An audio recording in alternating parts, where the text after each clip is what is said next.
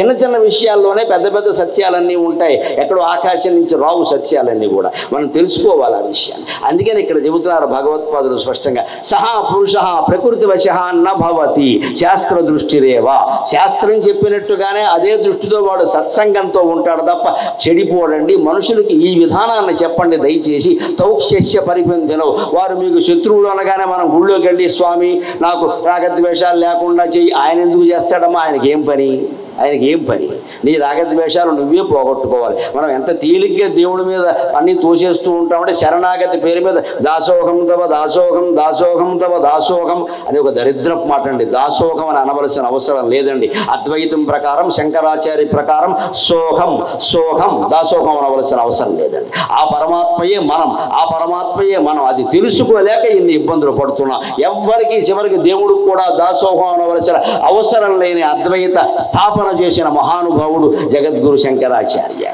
ఆత్మవిశ్వాసం ముఖ్యం ఆత్మవిశ్వాసం ముఖ్యం. సోహం భావేన పూజయేత్తనారాయణ దాసోహం భావేన పూజయేత్తనలేదు దాసుడుగా ఉంటే ఎప్పుడూ బానిసగానే పడుంటావు అక్కడ. ఓ కాలమే పడిపోవడం ఇక లేవడంతకి? ఈ బండివాడంతా గొప్పవాడని ఆయన అనుకుంటూ ఉంటాడు. వీడెప్పుడో కొంప ముంచేస్తాడు.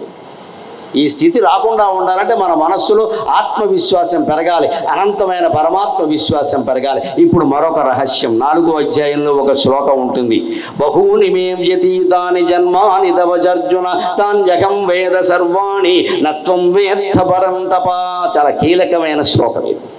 నాలుగో అధ్యాయంలో ఉంటుంది జ్ఞానయోగంలో. అర్జునుడు ఏవో ఇంకా అనుమానాలు సంకోచాలు పెట్టుకుంటూ ఉంటే అంతేకాదు ఈ యోగాన్ని నేను పూర్వం సూర్యుడికి చెప్పానయ్యా ఇమం వివస్వతేర్యోగం ప్రోక్తవానకం ఆత్మవాన్. వివస్వాన్ మన వేప్రాహు మను రిక్ష్వాకమే బ్రవీత్. నేను సూర్యుడికి చెప్పాను ఈ యోగాన్ని. సూర్యుడు మనువుకి చెప్పాడు మనువు ఇక్ష్వాకుకు చెప్పాడు ఏవం పరంపరా ప్రాప్తం. అలా పరంపరగా వచ్చింది. ఇప్పుడు మళ్ళీ నీకు చెబుతున్నాను అంటే వెంటనే అర్జునుడు అంటాడు అదేమిటి? నువ్వు సూర్యుడికి చెప్పడం ఏమిటి? నువ్వు నా దగ్గరగా నువ్వు మా బావ కదా. మీ చెల్లెల్ని నేను చేసుకున్నాను కదా. ఈయనకి ఇంతకంటే ఏం తెలియదు మరి. అందుకే మీ సుభద్ర నేను చేసుకున్నాను కదా నువ్వు గడ్డం కింద బెల్లమ్మ కట్టావు కదా. స్నాతకం చేసినప్పుడు వచ్చి తాటాకు గొడుగు పట్టుకుంటే బెల్లమ్మ కట్టి బాబా బాబా కాశీయాత్ర మానయి ఇది పెద్ద నాటకం అండి మన తతంగాలో నాకు చాలా నవ్వుస్తూ ఉంటుంది చూస్తే. స్నాతకం ఎప్పుడు చేస్తారంటే విద్య చదువుకోవడం అయిపోయాక చేయాలి. పెళ్ళికి ముందు కాదు అది.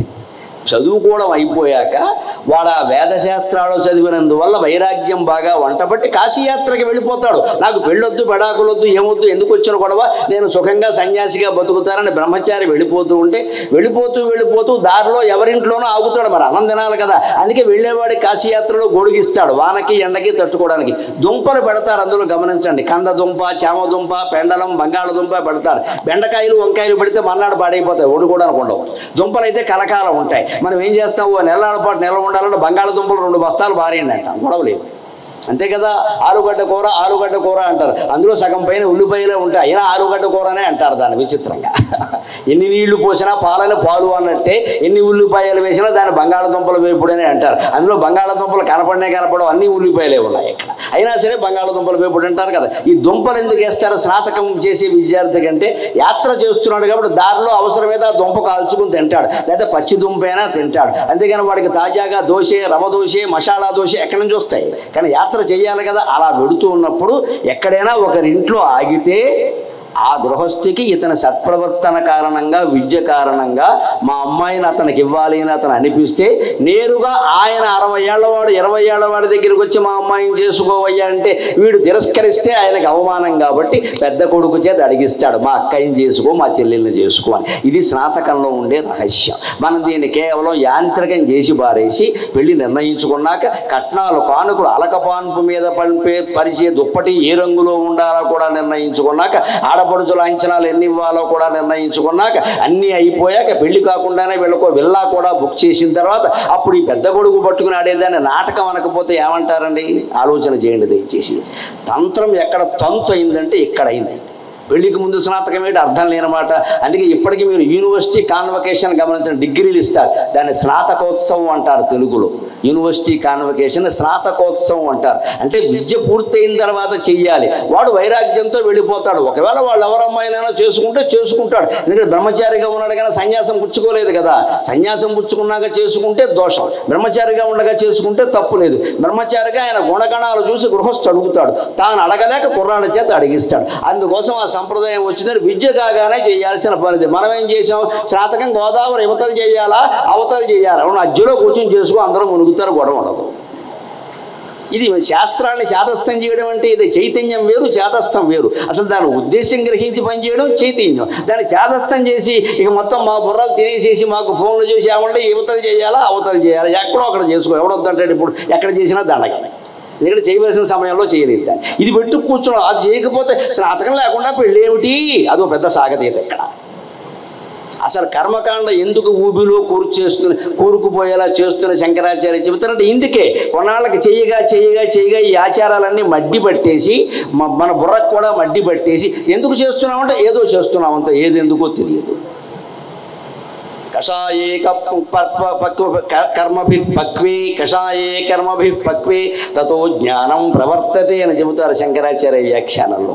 కర్మలని కషాయం కోసం తయారు చేసినట్టుగా బాగా ఆయుర్వేద వైద్యుడు కషాయం తయారు చేస్తే ఏం చేస్తాడు? దాన్ని కాచుతాడు వీడు చేస్తాడు ఇలా తిప్పుతాడు ఇలా తిప్పుతాడు రావలసిన పాకం వస్తే కానీ మందు తయారవదు అనుక్షణం చూస్తాడు. అలాగే మనం వ్రతం చేసినా నోవు చేసినా యజ్ఞం చేసినా పూజ చేసినా అధ్యయనం చేసినా జపం చేసినా ఏం జరుగుతోంది? ఏం జరుగుతోంది? ఏం జరుగుతోంది? పది రోజులు బట్టి జపం చేస్తున్నాం. ఎక్కడ మనస్సు కుదరట్ల. కుదరాలంటే ఏం చేయాలి? తీవ్రమైన తపన ఉండాలి. ఆ తపన ఉంటే తక్షణం కుదురుతుంది మనస్సు. పెద్ద విషయం కాదు ఇక్కడ.